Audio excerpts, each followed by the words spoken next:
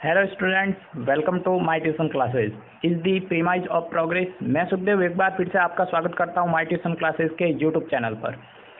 अपन लोग class tenth का chapter first chemical reaction and equation chapter पढ़ रहे थे, जिसमें अपन लोगों ने केमिकल रिएक्शन क्या होता है इक्वेशन क्या होता है वो सारा पढ़ लिया। केमिकल रिएक्शन के कुछ टाइप्स भी अपन ने देखे थे ऑक्सीडेशन रिडक्शन वगैरह अपन के जो टाइप होते हैं, अपन के वो भी देखे अपन।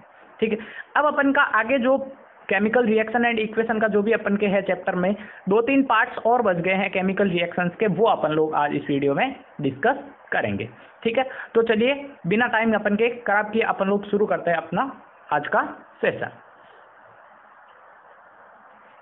तो देखिए, आज का अपन का आगे का रिएक्शन जो है अपन के हैं डिस्प्लेसमेंट रिएक्शन हिंदी में इसको बोलते हैं विस्थापन अभिक्रिया अब जैसा कि नाम से ही अपन को मालूम पड़ रहा है डिस्प्लेसमेंट या फिर अपन के विस्थापन मतलब क्या होगा डिस्प्लेस करेगा कुछ न कुछ, ठीक है? तो देखिए डेफिनेशन में अपन ने क्या लिख more reactive element displaces less reactive element from its aqueous salt solution मतलब क्या है इसमें? कि अधिक क्रियाशील जो भी अपन का तत्व होगा, वो कम क्रियाशील को क्या कर देगा? विस्थापित कर देगा। सबसे पहली चीज़ तो अपन के ये आती है कि ये कम क्रियाशील और अधिक क्रियाशील क्या होते हैं। तो इसमें देखिए, अपन के, मैंने पास में अपन के, आपके लिए क्या, आपके लिए एक बना रखा है, जिसमें देखिए आप लोग नाम मैंने लिख रखे हैं। ये है अपन के रिएक्टिविटी सीरीज़ जिसको बोलते हैं सक्रियता श्रेणी या क्रियाशीलता। ठीक है, क्रियाशीलता के क्रम में मैंने अपन के इसको, इनको लिखा है। जब अपन लोग ऊपर से नीचे की ओर जाएँगे हमेशा तो ऊपर से नीचे जैसे जैसे जाएँगे, हमेशा क्रियाशीलता या सक्रियता, जिसको अपन लोग बोलेंगे रिएक्टिविटी कम होगी हमेशा। ठीक है? तो सबसे ऊपर अपन का जो सबसे ज़्यादा क्रियाशील या जिसको बोलते हैं सबसे ज़्यादा रिएक्टिव अपन का एलिमेंट कौन सा होगा? तो सबसे ज़्यादा अपन का पोटेशियम उसके बाद सोडियम उसके बाद calcium magnesium aluminium carbon zinc ferrous stannous lead hydrogen copper AG और एयू मतलब सिल्वर और अपन का क्या हो जाएगा? गोल्ड हो जाएगा। आगे समझ में चलिए तो इसमें ध्यान रखना अपन के। ट्रिक जो अपन के इसमें मैंने दे रखी है सक्रियता श्रेणी को याद करने की वो अपन को इसमें क्या दे रखी है? कालीनाथ का माली आलू जरा फीके पकाता है। जिसमें देखिए अपन का काली से बन जाएगा, के अपन का? नाथ से बन जाएगा सोडियम, का से बन गया अपन का कैल्शियम, माली से मैग्नीशियम, आलू से बन गया एल्यूमिनियम। अब ध्यान रखना कुछ कुछ एलिमेंट्स की मैंने यहाँ पे ट्रिक नहीं डाली है बिकॉज़ ऑफ़ अपन के क्या है, और भी इसमें आगे जब अपन लोग प्रैक्टिकल वाला चैप्टर पढ़ेंगे अपन के, जब प्रैक्टिकल्स करेंगे सारे के सारे क्लास टेंथ के जिसपे डिस्प्लेसमेंट रिएक्शन का और आएगा प्रैक्टिकल अपन के तो वहाँ पे अपन लोग और ज़्यादा डिस्कस करेंगे इनको अपन के रिएक्टिविटी सीरीज़ को, जिसमें अपन के और ज़्यादा अपन के एलिमेंट्स इसमें अपन के आने वाले हैं, ध्यान रखना। ठीक है?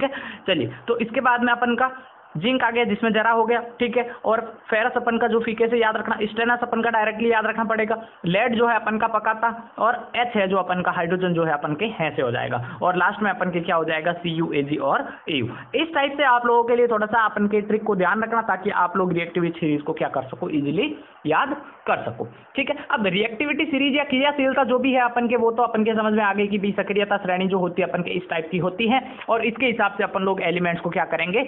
ज़्यादा अपन का क्रियाशील कौन सा है और कम कौन सा है? मतलब ज़्यादा रिएक्टिव कौन सा, कम रिएक्टिव कौन सा, ये अपन को मालूम पड़ गया। तो अब चलते हैं अपन लोग वापस से अपनी डेफिनेशन में। तो ध्यान रखना, इसमें देख क्या रखा है? ज़्यादा क्रियाशील जो होगा वो कम वाले को क्या कर देगा? अपन का हमेशा विस्थापित कर देगा। मतलब डिस्प्लेस कर देगा, उसकी जगह पे आ जाएगा। ठीक है? तो यहाँ पे मैंने क्या लिया है? अधिक क्रियाशील जो तत्व होगा, वो कम क्रियाशील तत्व को क्या कर देगा? हमेशा विस्थापित कर देगा। तो चलिए अपन लोग देखते हैं अपना एग्ज़ाम्पल जो अपन के नीचे दे रखे हैं। बहुत सारे एग्ज़ाम्पल मैंने लिए हैं, ठीक है? जिसमें अपन का देखिए सबसे पहला इसमें ए प्लस ये देखिए, ये वाला रिएक्शन देखिए इसमें। ए प्लस बी सी जो इसमें देखिए बाद में अपन का बी की जगह अपन का कौन आ गया? अपन के ए आ गया है। देखिए ये ए है अपन का पहले ग्रीन वाला, ठीक है? इसकी जगह पे कौन आ गया? अपन का ए आ गया। मतलब क्या हुआ? बी अपन का क्या है? अपन के सॉरी ए जो है अपन का क्या है? ज़्यादा क्रियाशील तो इस परिभाषा में क्या बताया? अधिक क्रियाशील तत्व कम वाले को क्या कर देता है? विस्थापित कर देता है। मतलब इसके अंदर कौन है अपन का? ज़्यादा क्रियाशील ज़्यादा क्रियाशील है अपन का कौन? ए तो ए क्या कर देगा? इस बी को अपनी जगह पे बी को अपनी जगह क्या कर देगा? विस्थापित कर देगा और इस बी को क्या कर दिया? इसने यहाँ से अलग कर दिया। तो देखते अपन लोग एग्ज़ाम्पल से समझते हैं इसमें।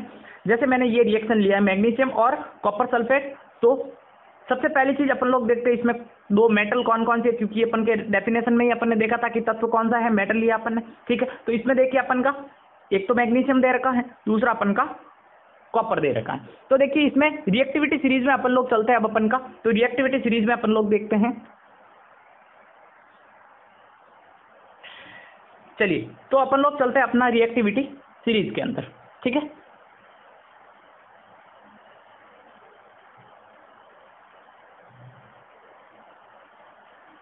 चलिए। अब देखिए, इस रिएक्टिविटी सीरीज़ के अंदर अपन लोगों को दिख रहा होगा कि मैग्नीशियम अपन का कहाँ पे है? मैग्नीशियम अपन का है थर्ड नंबर पे। ठीक है? थर्ड नंबर पे है। ठीक है? उसके बाद अपन लोग देखते हैं अपन का कॉपर कॉपर है लास्ट में आता। तो मैंने अभी बताया था कि ऊपर से नीचे जैसे जैसे अपन लोग जाएँगे रिएक्टिविटी क्या होती है हमेशा? कम होती है। तो अपन लोगों ने यहाँ पे देखा कि मैग्नीशियम क्या है? ज़्यादा रिएक्टिव है अपन मतलब अधिक क्रियाशील कौन है? मैग्नीशियम और कॉपर क्या अपन का? कम क्रियाशील है। तो जहाँ पे कॉपर होगा, उसकी जगह क्या आ जाएगा अपन का? मैग्नीशियम आ जाएगा। क्योंकि अपन ने देखा था कि ज़्यादा रिएक्टिव वाला जो भी होगा, अधिक क्रियाशील जो भी होगा, वो कम वाले को क्या कर देगा? बाहर फेंक देगा और उसकी जगह पे खुद आ जाएगा। तो यहाँ पे देखिए अपन का आगे क्या बन रहा है? प्रोडक्ट के अंदर सी अलग हो गया और इस मैग्नीशियम को अपन ने कहाँ पे भेज दिया अपन के SO4 के साथ में तो मैग्नीशियम सल्फेट बन गया। इससे अपन को क्या दिखा अपन के? कि मैग्नीशियम अपन का क्या है? अधिक क्रियाशील है। किससे? कॉपर से। देयरफॉर अपन का मैग्नीशियम क्या कर देगा? इसको विस्थापित कर देगा या डिस्प्लेस कर देगा और इसकी जगह पे आ जाएगा। ये समझ में नहीं आया? दूसरा रिएक्शन देखिए। दूसरा रिएक्शन दिया है मैंने C U S four plus F F S four और सी यू बन रहा है। तो देखिए, सबसे पहले मेटल देखते हैं अपन लोग। एक तो सी यू है अपन का, एक है अपन के एफ़ ई ठीक है? तो देखिए इसमें कहाँ कहाँ पे है अपन का? सी यू तो ये रहा अपन के लास्ट वाली पोजीशन पे। एफ़ ई कहाँ पे है अपन का? एफ़ ई देखिए, ये रहा। फीके पकाता वाले में एफ़ ई ये रहा, ठीक है? तो यहाँ पे आप ध्यान रखना अपन को कि ज़्यादा रिएक्टिव कौन सा है? एफ़ ई है। तो एफ़ ई ज़्यादा रिएक्टिव है तो एफ़ ई क्या करेगा? इस सी यू को विस्थापित कर देगा। क्या बताया अपन ने? कि जो ज़्यादा रिएक्टिव होता है, वो कम वाले को क्या कर देता है? विस्थापित कर देता है, ठीक है? डिस्प्लेस कर देता है। तो अपन का एफ़ ई क्या है? ज़्यादा रिएक्टिव है। तो इस सी यू को क्या करेगा? वो बाहर फेंक देगा। चलिए, एक रिएक्शन और ले लेते हैं अपन लोग इसमें, जिसमें मैंने लिया है सिल्वर नाइट्रेट और कॉपर का लिया है, ठीक है? सिल्वर नाइट्रेट और कॉपर वाले में ध्यान रखना अपन के। सिल्वर अपन का एक मेटल हो गया। एक हो गया कॉपर। कॉपर का तो पोजीशन वही अपन के सेम पड़ा है, ठीक है? अब देखिए यहाँ पे क्या आ रखा है, सिल्वर। तो अपन लोग जानते हैं कि कॉपर अपन का ज़्यादा रिएक्टिव है किससे? सिल्वर से। देयर क्या करेगा आपकी बार? कॉपर क्या करेगा? इस सिल्वर की जगह पे आ जाएगा। देयर रिएक्शन क्या बन जाएगी? C U NO three plus A G अपन की रिएक्शन हो जाएगी। आगे समझ में? चलिए। अब इसके बाद में अपन के ये जो दो रिएक्शन दे रखी है वो है आपके लिए। तो आप लोगों को इन दोनों रिएक्शन को समझना है और करना है। देयरफॉर आप लोगों को इजीली ये समझ में आ जाए। ये दोनों रिएक्शन आपके लिए, खुद के लिए होमवर्क है। अब एक चीज़ अपन का यहाँ पे इसके अंदर देखिए आप लोग। ये जो रिएक्शन अपन ने ली है C U S O four plus F E F E S O four plus C U बहुत ही ज़्यादा फ़ेमस वाली है और बहुत ही ज़्यादा इंपॉर्टेंट रिएक्शन है। क्यों? क्योंकि सीधा एग्ज़ाम के अंदर क्वेश्चन आता है कि जो C U S O four जो होता है अपन का, ये जो C U S O four मैंने लिया है, वो किस कलर का होता है हमेशा? वो होता है हमेशा ब्लू कलर का। ठीक है? अब जब ये ब्लू कलर का हो गया अपन का, जब इसके अंदर फेरस डालते हैं एग्ज़ाम के अंदर क्वेश्चन क्या पूछता है? ये एक तरह की एक्टिविटी है कि जब अपन लोग कॉपर सल्फेट के सॉल्यूशन के अंदर आयरन नेल्स डालते हैं। ठीक है? मतलब एक अपन ने क्या करा? कॉपर सल्फेट के सॉल्यूशन के अंदर क्या डाल दिया अपन ने? आयरन नेल्स डाल दिया। तो अपन के क्या होगा? उस कॉपर सल्फेट के सॉल्यूशन का कलर चेंज हो जाता है। इसका रीजन बताइए। तो ध्यान रखना, इस टाइप के जब कभी भी क्वेश्चन आते हैं, वहाँ पे हमेशा अपना आंसर क्या होता है? डिस्प्लेसमेंट रिएक्शन क्या बोलेंगे वहाँ पे अपन लोग? कि कॉपर सल्फेट के अंदर अपन का जो कॉपर है, वो फेरस से कम क्रियाशील है मतलब कम रिएक्टिव है। देयर फेरस को सॉरी कॉपर को क्या कर देगा फेरस डिस्प्लेस कर देगा। कौन करेगा? कॉपर क्या करेगा? फेरस को डिस्प्लेस कर देगा। तो ये आपको समझ में आ गया होगा। चलिए, इसके बाद अपन लोग लेते हैं अपना आगे का जो अपन के डबल डिस्प्लेसमेंट रिएक्शन ये तो था सिंगल डिस्प्लेसमेंट मतलब एक एलिमेंट था, वो दूसरे को क्या कर देता था? डिस्प्लेस कर देता था। वही रिएक्टिविटी सीरीज़ अपन ने देखी थी। ठीक है, अब डबल डिस्प्लेसमेंट क्या होगा? उसमें किस टाइप से अपन के डिस्प्लेस मतलब एलिमेंट को डिस्प्लेस करेंगे? तो वो अपन लोग देखते चलिए, ये है अपन का डबल डिस्प्लेसमेंट रिएक्शन इसमें देखिए डेफिनेशन देखिए it is a reaction in which two different ions or group of atoms in the reaction are displaced by each other मतलब क्या है इसके अंदर की जो अपन का रिएक्शन होगा, उस रिएक्शन के अंदर दो अलग अलग आयन या फिर जिसको अपन लोग परमाणुओं का समूह एक दूसरे को विस्थापित कर देंगे। देखिए, किस प्रकार से। It is a reaction in which two different ions or group of atoms अब ध्यान रखना, इसके अंदर क्या होगा? ग्रुप ऑफ़ एटम्स होगा। ठीक है? वो क्या करेगा? एक ग्रुप ऑफ़ एटम को दूसरे ग्रुप ऑफ़ एटम से क्या कर देगा? अपना डिस्प्लेस कर देगा। ध्यान रखना। अब देखिए, पिछले वाले में अपन ने देखा था सिंगल डिस्प्लेसमेंट के अंदर हमेशा क्या था अपन का? यहाँ पे क्या लिया था? Salt solution aqueous salt solution था अपन का। मतलब एक्वियस सॉल्ट सॉल्यूशन का मतलब क्या? जैसे एफ़ अपन का एक्वियस सॉल्ट सॉल्ट सॉल्यूशन है इसका। मैग्नीशियम सल्फेट हो गया अपन का। लेकिन इसके अंदर क्या लिया अपन ने? इसके अंदर हमेशा ध्यान रखना अपन के क्या होगा? या तो आयंस होंगे, या फिर ग्रुप ऑफ़ एटम्स परमाणुओं का क्या होगा? समूह होगा। तो इसको समझने के लिए अपन लोग देखते हैं अपना कि रिएक्शन अपन का किस टाइप से होगा। चलिए। इस रिएक्शन के अंदर देखिए अपन का मैंने लिया है। ए बी कोई अपन के क्या है? दो आ, मतलब एटम का अपन के ग्रुप ऑफ़ एटम है ठीक है? और सी डी क्या है अपन का? ग्रुप ऑफ़ एटम है।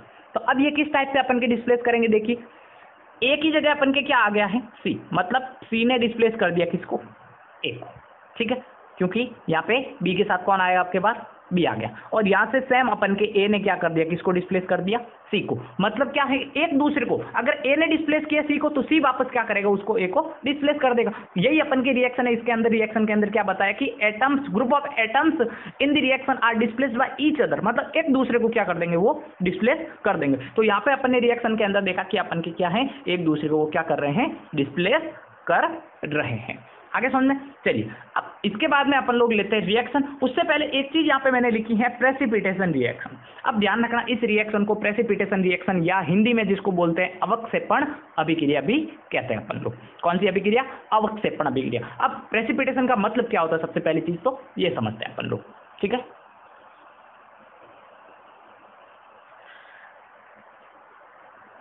प्रेसिपिटेशन का मतलब लेते हैं अपन लोग।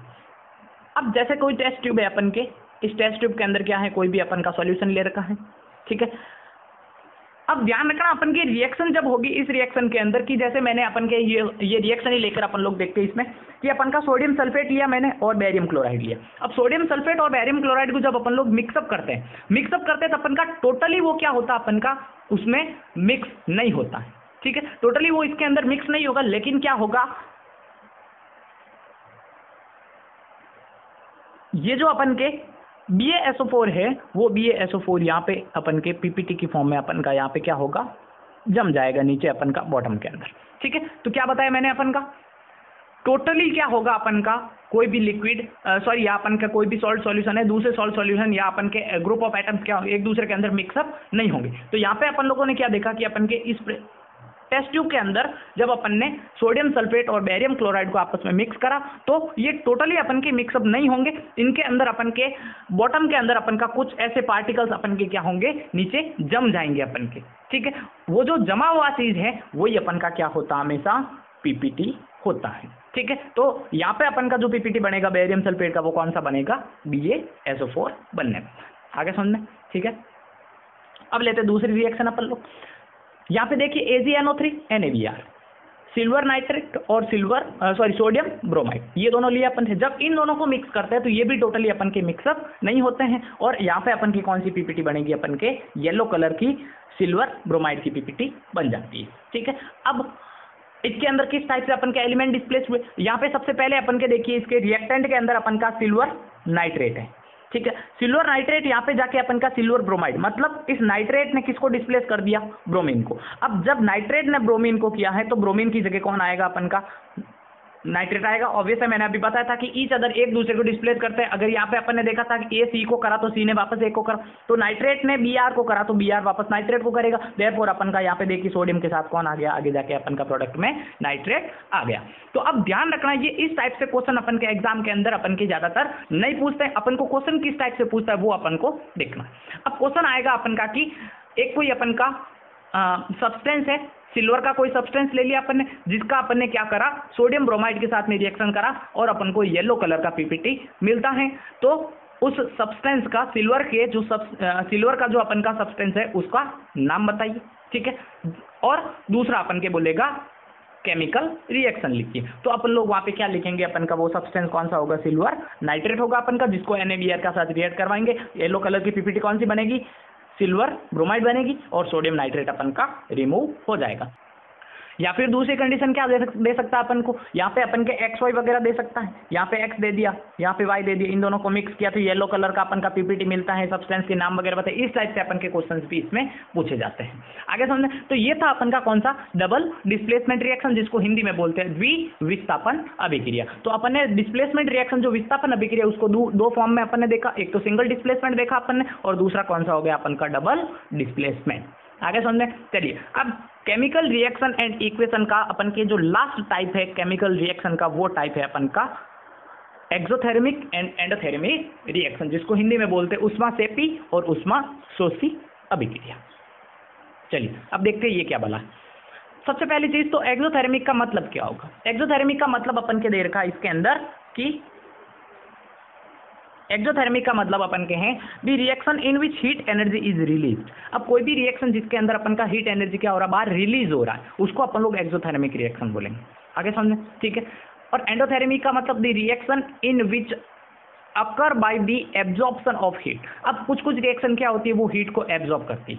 अब यहाँ पे क्वेश्चन क्या आता अपन का? एग्ज़ाम के अंदर बहुत ही मोस्ट इंपॉर्टेंट क्वेश्चन पूछता है इसमें, या तो अपन के पूछेगा, जो अपन के फोटोसेंथेसाइज का प्रोसेस होता है प्लांट्स के अंदर। वो किस टाइप की रिएक्शन है? एक्सोथेरेमिक या एंडोथेरेमिक ठीक है? तो ध्यान रखना, अपन लोग जानते हैं कि फोटोसेंथेसाइज जो होता है, उसके अंदर हीट की अपन को ज़रूरत पड़ती है। प्लांट्स क्या करते हैं? हीट को एब्जॉर्ब करते हैं सनलाइट से। देयर वो कौन सी रिएक्शन होगी? हमेशा अपन के एंडोथेरेमिक रिएक्शन होगी। अब अगर अपन के प्लांट्स के अंदर एंडोथर्मिक रिएक्शन है तो एक्जोथर्मिक किसके अंदर होगी? ह्यूमंस के अंदर होगी ऑब्वियस है, क्योंकि ह्यूमंस क्या करते हैं? अपन की हीट एनर्जी रिलीज़ करते हैं, हमेशा ध्यान रखना, ठीक है? चलिए तो यहाँ पे अपन लोग ध्यान रखना एक्जोथेरमिक और एंडोथेरमिक का मतलब क्या होगा? उष्मा सेपी का मतलब तो होगा कि इसमें जो उष्मा होगी, वो क्या होगी? बाहर निकलेगी और एंडोथेर्मिक का मतलब होगा अपन के उष्मा शोषी का मतलब होगा उसमें ऊर्जा या उष्मा का क्या करेगा? अवशोषण करेगा। ठीक है? और जैसा कि मैंने बताया अपन का जो उष्मा शोषी अभिक्रिया है या एंडोथेर्मिक है, जिसको अपन लोग क्या बोलते हैं? प्रकाश संश्लेषण की अभिक्रिया के अंदर यूज़ होगा वो। ठीक है? और जो मानव शरीर के अंदर जो ग्लूकोज बढ़ने की प्रक्रिया होती है अपन की, वो उष्मा सेपी होती है, हमेशा एक्जोथेर्मिक होती है। चलिए अब नीचे ये एग्ज़ाम्पल दे रखे कोई इसमें अपन के एक दो एग्ज़ाम्पल अपन को याद रखना है, ठीक है? जैसे अपन का तीसरा ले लेते हैं अपन लोग पीसीएल थ्री वाला ले लिया मैंने, ठीक है? जब यहाँ पे माइनस लिखा हुआ होगा तो हमेशा ध्यान रखना वो कौन सी होगी अपन के? एंडोथेरेमिक होगी और प्लस लिखा हुआ आ गया इसका मतलब क्या होगा वो? एक्जोथेरेमिक आगे समझ तो ये था अपन का एंडोथेरेमिक एंड एक्सोथेरेमिक अब इसमें ध्यान रखना एग्ज़ाम के अंदर सीधा क्वेश्चन एग्ज़ाम्पल वगैरह कुछ भी इससे ज़्यादा पूछता नहीं है अपन के। ज़्यादा इसके अंदर एग्ज़ाम के अंदर यही पूछता है कि why uh, why photosynthesis is considered as, endothermic and the uh, human uh, formation of glucose in human body is exothermic मतलब ये क्वेश्चन इस टाइप से अपन का पूछ सकता है कि अपन के प्रकाश संश्लेषण अभिक्रिया उष्मा उष्मा शोषी क्यों है? या फिर मानव के अंदर ग्लूकोज बढ़ने की प्रक्रिया उष्मा सेपी क्यों वगैरह इस टाइप का क्वेश्चन अपन के आ सकता है। आगे समझे चलिए। तो ये था अपन का एंडोथेरेमिक एंड एक्सोथेरेमिक अब केमिकल रिएक्शन एंड इक्वेशन का जो अपन का है, वो अपन के टोटली अपन के क्या हो जाता है? कंप्लीट हो जाता है। तो चलिए, अब अपन लोग लेते हैं अपना चैप्टर का लास्ट टॉपिक जो है अपन के क्या है? रेंसिडिटी या जिसको अपन लोग हिंदी में बोलते हैं विकृत गंधिता अब ध्यान रखना अपन का, एक अपन का टॉपिक जो है, जिसको अपन लोग कॉरिजन बोलते हैं, अपन का जो, जिसको बोलते हैं संसारण, हिंदी में बोलते हैं। मतलब जंग वगैरह लग जाती है किसी भी लोहे की चीज़ों के ऊपर फेरस के ऊपर, वगैरह के ऊपर जो कॉरिजन होता है अपन का, वो जो टॉपिक है अपन लोग आगे अपन के मेटल नॉन मेटल वाला चैप्टर है, उसके अंदर डिस्कस करेंगे। आगे समझ में? क्योंकि अपन के वो जो अपन के टॉपिक है सेम वापस अपन के उसी के अंदर दे रखा है। देरपोर क्या होगा? अपन के इस आगे अपन को जो मेटल नॉन मेटल जो चैप्टर पढ़ेंगे, उसके अंदर अपन लोग डिस्कस कर लेंगे। आप लोग ऐसा मत सोचना कि सर, अपन के वो टॉपिक छोड़ दिया कॉरिजन ऐसा कुछ नहीं है। आपके सारे के सारे टॉपिक जो है अपन के एनसीआरटी e या आरबीएससी के सारे के सारे टॉपिक क्लियर किए जाएँगे। चलिए तो अपन लोग देखते हैं अपना रेंसिडिटी या विकृत गंदिता क्या होता है। इसके अंदर देखिए अपन का it is the process of slow oxidation of oil and fat present in the food material resulting in the sense of smell and taste in them अब ध्यान रखना अपन का क्या होता है कि अपन लोग भी जानते हैं कि घरों के अंदर भी अपन लोग अगर कोई भी खाने की चीज़ वगैरह थोड़ी देर के लिए अपन लोग क्या करते हैं, थोड़े दिनों के लिए ऑयल की बनी हुई चीज़ या फैट से बनी हुई चीज़ अपन लोग रख देते हैं तो थोड़े दिनों के बाद उसके अंदर क्या आने लग जाती है स्मेल वगैरह आने लग जाती है, वगैरह जो होता है अपन का स्मेल वगैरह जो आती है अपन के, वो हमेशा क्या होती है रेंसिडिटी होती है। इसीलिए यहाँ पे बोल रखा कि अपन के क्या होता है कि ऑयल और फैट से बनी हुई जो भी चीज़ें होगी, उनके अंदर इस टाइप का अगर अपन को देखने को मिलेगा स्मेल वगैरह और टेस्ट वगैरह अपन के खराब होने लगेगा तो वो अपन के क्या होगा, हमेशा वो रेंसिडिटी होगा। अब ये होता क्यों है? क्योंकि यहाँ पे क्या होता है, हमेशा स्लो ऑक्सीडेशन होता है। ठीक है? अब ऑक्सीजन की पर्जननेस में कोई चीज़ रहेगी अपन की ज़्यादा देर तक तो क्या होगा? वो हमेशा क्या होगा?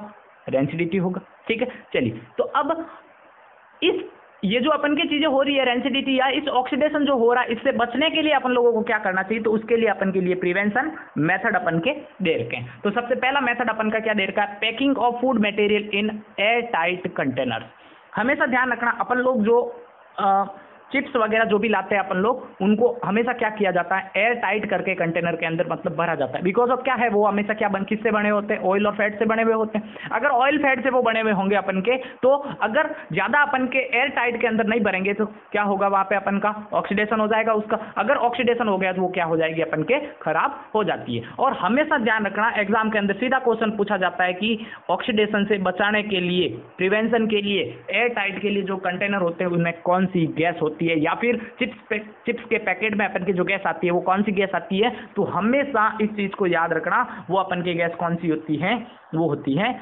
नाइट्रोजन गैस होती है। आगे सुनिए सीधा क्वेश्चन आता है ये अब दूसरा अपन का avoiding the food material and cooked food keeping it in direct sunlight दूसरा क्या दे रखा है? कोई भी अपन के फ़ूड मटेरियल वगैरह जो भी है, अपन के बनाए हुए भोजन वगैरह हैं, उनको क्या करना चाहिए अपन को?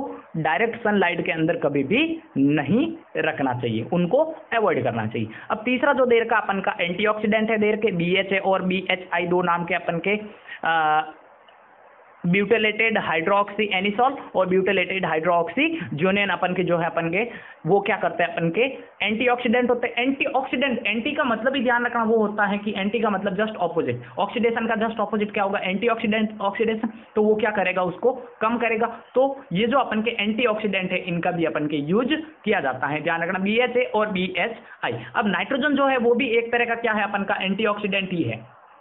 क्योंकि अपन लोग क्या बोल रहे हैं भाई एंटीऑक्सीडेंट का मतलब क्या होता है? जो ऑक्सीडेशन से ऑपोजिट काम करे तो नाइट्रोजन भी अपन का क्या करता है? ऑक्सीडेशन से अपन का क्या कर रहा है? उसको बचा रहा है मतलब ऑपोजिट काम कर रहा है। देयरफॉर ये भी एक तरह का एंटीऑक्सीडेंट ही होगा। तो एग्ज़ाम के अंदर आ जाए अपन का एंटीऑक्सीडेंट तो मोस्ट प्रायोरिटी आपको नाइट्रोजन को देनी है। उसके बाद में आपको याद आता है तो बी एच ए और बी एच आई अपन को ध्यान रखना है। ठीक है? तो ये था अपन का क्या टॉपिक रेंसिडिटी जिसका मतलब अपन ने देख लिया कि slow oxidation of oil and fat ठीक है?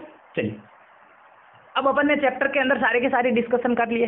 ठीक है केमिकल रिएक्शन क्या होता है केमिकल इक्वेशन क्या होता है, उसको किस टाइप से अपन लोग लिख सकते हैं बैलेंस कैसे करते हैं मोस्ट इंपॉर्टेंट टॉपिक था जो अपन के लिए। ठीक है, अब टाइप जो भी थे अपन ने सारे के सारे टाइप्स देख लिए। ठीक है, अब फिर भी आप लोगों को कोई भी इस चैप्टर के अंदर डाउट लगे आप लोगों को कि सर यहाँ पे हम लोगों को समझ में नहीं आया है। देयरफॉर आप लोग कमेंट बॉक्स में कमेंट कर सकते हैं, या फिर आप लोगों को डिस्क्रिप्शन बॉक्स के अंदर आपको व्हाट्सएप नंबर मिल जाएँगे, उसके ऊपर आप लोग भी, आप लोग मैसेज कर सकते हो, ठीक है? और अगर आप लोगों को नोट्स की ज़रूरत है चैप्टर की, कि भाई हमें नोट्स की ज़रूरत है सर चैप्टर के तो आप लोग व्हाट्सएप पे मैसेज कीजिएगा, आपको वहाँ से नोट्स प्रोवाइड करवा दिए जाएँगे। चलिए तो अब अपन लोग मिलते हैं अपने आगे का नेक्स्ट जो केमिस्ट्री का चैप्टर होगा एसिड बेस एंड सॉल्ट में, ठीक है? Till then take care thank you